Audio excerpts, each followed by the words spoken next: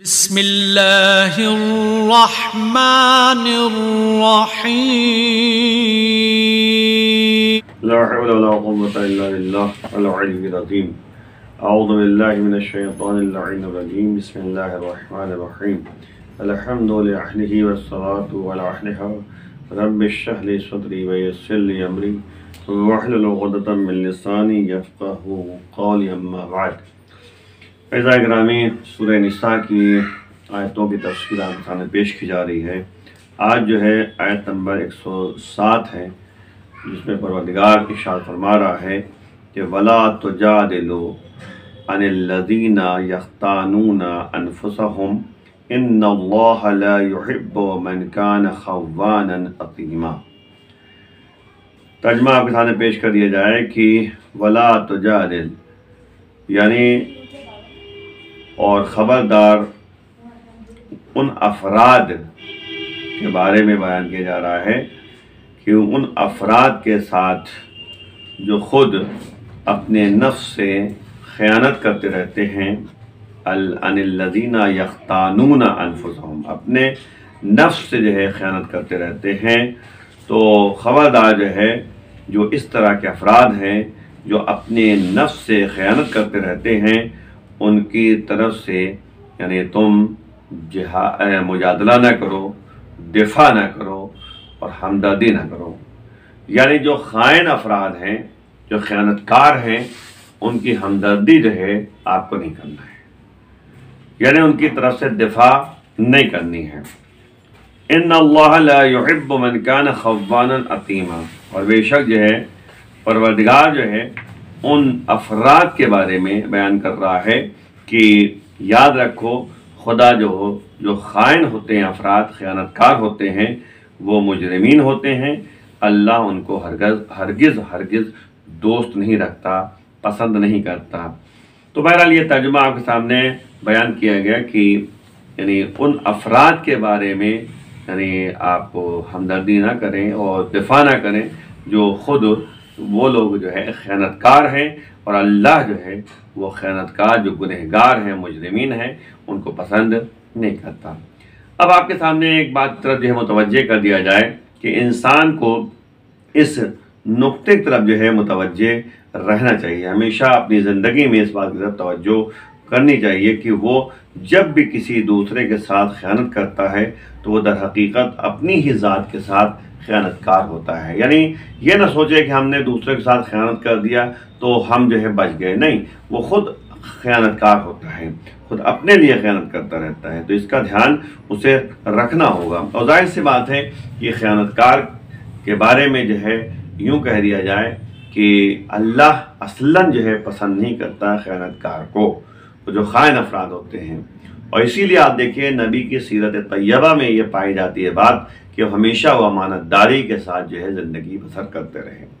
यानी आप देखें कि कुफ्फार हों मुशरकिन हों चाहे नबी को नबी ना मानते हों लेकिन ये अमानतदारी में जो है उनके तमाम आम, आम यानी अमवाल को जो है अमानत के साथ जो है वापस करते थे अमानतदारी उनके अंदर पाई जाती है। यहाँ तक कि अगर गौर करें आप शब हिजरत मौलाए कायनात जब बिस्तर रसूल पे सोए थे तो नबी तो चले गए थे लेकिन तमाम अमानतें जो है, मौलाए कायनात ने बेआन ही उसी तरीके से वापस कर दी और लोगों तक जो है, उनकी अमानतें पहुँचा दी। गौर कीजिएगा कि अमानतदारी इस्लाम में जो है, उसकी बड़ी अहमियत करार दी गई है। और इसीलिए आप देखें कि, यानी, रवायत में मौजूद है कि, यानी, जो अफ इमाम फरमाते हैं, हमारे आपके साथ इमाम, कि तुम जो है लंबे लंबे सजदों को मत देखो।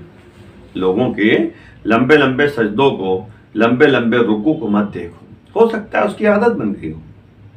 और आदत जब बन जाती है तो इंसान छोड़ता है तो वहशत पैदा होती है। मौला फरमा रहे हैं कि बल्कि तुम ये देखो कि उसके अंदर अमानतदारी पाई जाती है या नहीं पाई जाती ये देखो, सदाकत पाई जाती है नहीं पाई जाती? है दो सिफतों की तरफ़ जो है, मौला मुतवजह कर रहे हैं एक अमानतदारी और एक सदाकत और सच्चाई, यानी गुफ्तगु में सदाकत पाई जाती है सच्चाई पाई जाती है यानी इंसान की ज़िंदगी जो है, इन्हीं दो चीज़ों पर डिपेंड है। एक अमानतदारी है, एक एक सदाकत है। और ज़ाहिर सी बात है कि इंसान अगर अमानतदार नहीं है तो चाहे जितना जो है कहते अल्लाह की बारगाह में जो है इबादतें करता रहे, क्योंकि अल्लाह जो है खयानतकार को पसंद नहीं करता। जब खयानतकार पसंदीदा नहीं अल्लाह की बारगाह में तो उसका अमल भी जो है काबिल कबूल अल्लाह की बारगाह में नहीं हो सकता। इसीलिए ईमान ने फरमाया कि यानी देखो कि खयानतकार तो नहीं है ये देखो, अमानतदारी है, उसके अंदर नहीं है, पाई जाती है। यानी याद रखें कि ख़यानत को अल्लाह पसंद नहीं करता और अमानतदारी जो है, बहुत ज़रूरी है। सदाकत इंसान के लिए बहुत ज़रूरी है। इस बात की तो जो बहरहाल हमें गौर करना चाहिए और याद रखिए कि एक जुमला आपके सामने बयान करता चलूँ कि अंसार में, यानी बनु बैरक जो है कि तीन भाइयों ने एक शख्स के घर चोरी की। अंसारी थे? यानी जो अंसारे उसे कहते हैं, अंसार, जो नबी के मददगार साबित हुए थे मदीने में, जब नबी आए थे, उनको अंसार कहते हैं। तो बहरहाल जो कहते हैं कि ये तीन भाइयों ने जो अंसारी थे, अंसार में से थे तो मैंने तीन भाइयों ने एक शख्स के घर चोरी की और एक यहूदी के घर सारा सामान रख दिया। यानी एक काम किया कि एक घर में चोरी की और वहाँ से सामान उठा के यहूदी के घर ले जाकर रख दिया। उसके बाद जिसने यानी सरकार आलम से शिकायत की, है, कि उसी को चोर करार दे दिया गया। यानी जिसने जो है रसूल से शिकायत की थी तो बहरहाल उन्हीं को जो है चोर करार दे दिया गया और इतने शवाहिद जमा कर दिए गए कि गोया अपने ख्याल में आपको मुतमिन कर दिया गया। यानी गवाह पेश कर दिया गया। यही जो है, यानी चोरी की है इसी ने। और उसी को जो है बहरहाल चोर करार दे दिया गया। होता है आमतौर पे कि जब इंसान जो है सच्चाई के सात कदम आगे बढ़ाता है तो लोगों में जो है बाज़ अफराद ऐसे होते हैं जो उसी को जो है झूठा करार दे देते हैं। तो इसी तरह जो है नबी के ज़माने में एक शख्स के बारे में यही हुआ कि उसको जो है झूठा करार दे दिया गया और कहा कि ये चोर है। और उसके अलावा जो है बाकायदा, यानी गवाह भी पेश कर दिए गए। तो परवदिगार आलम ने इस वाक़े की तरफ़ इशारा करते हुए मुसलमानों को तंबी की कि खबरदार मुजरमीन की हिमायत ना करना। यानी जो जुर्म करते हैं, जो खैरतकार हैं, उनकी जो हिमायत ना करना। तुम दूसरों पर इल्ज़ाम लगाकर अपने नफ्स पर जुल्म कर रहे हो और खुदा से अपने जुर्म को नहीं छुपा सकते। यानी इंसान जो है, हो सकता है, यानी लोगों के सामने जो है अपने को आया कर दे, लेकिन अल्लाह की बारगाह में अपने युग को छुपा नहीं सकता। मुफसरीन ने इस वाक़े के जैल में इन अल्फाज का इजाफा किया है कि मुजरमीन के तरफदारों ने सरकार दो आलम को मुतमिन कर लिया था और आपने बेगुनाह इंसान को तंबी भी कर दी थी, जिस पर खुदा ने आपको इस्तफार करने का हुक्म दे दिया है कि किताब खुदा के होते हुए खिलाफ हुक्म खुदा फैसला ना करना चाहिए। तो बहरहाल जो है, ये इस तरह की बातें जो है भी लिखी गई हैं। जबकि आप याद रखें कि हदर हकीकत यही बात है कि अल्लाह ने जो है हर बात की मुतवजह कर दिया है और बाकायदा जो है ये कह दिया कि यानी ख़यानतकारों का जो है यानी साथ न दो और खैरतकारों की दिफा की तरफ़ से कोई दिफा न किया जाए। लेकिन ये सारे ख्याल इन नज़रियात का नतीजा है जिनमें नबी की हैसियत एक आम इंसान की सी करार दे दी गई है और इसमत के वाकई मफहम को नज़रअंदाज कर दिया गया है।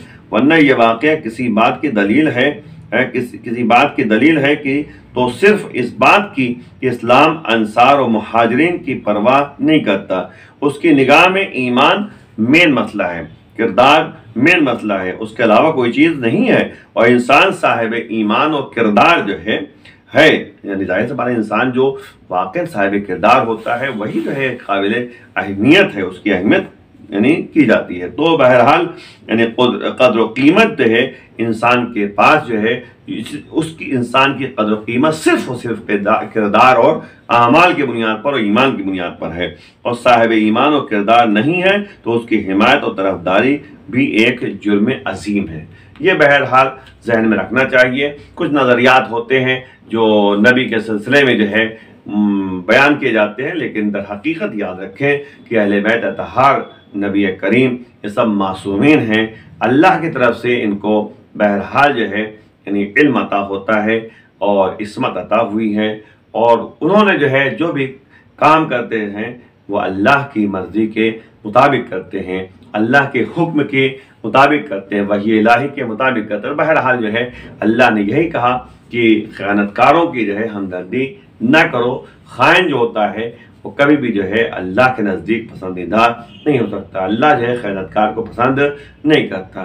तो याद रखें, हमें बारगाह मबूद दुआ करनी चाहिए परवदगार हमें ख़ैनत से दूर रखे और अमानतदारी की तोफ़ी नायत फरमाए और इमाम के आवान में